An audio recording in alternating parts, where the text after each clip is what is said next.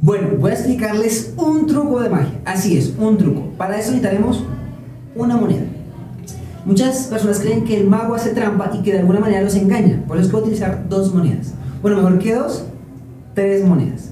Lo interesante de esto es que muchas personas ven monedas plateadas. Claro, porque estamos en este lado del mundo. Pero el otro lado del mundo serían monedas chinas. Pero creo que tres son demasiadas. Hagámoslo mejor con dos. ¿Sí? Con dos va a ser mucho más fácil.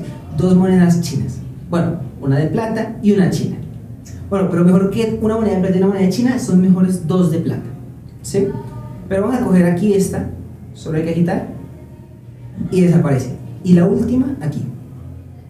Claro, yo les dije que iba a explicar un juego de magia, pero eso solamente lo voy a explicar en mi obra, Instagram, donde verán muchas cosas reveladas y no solamente eso, sino entenderán un poquito más de esta red social.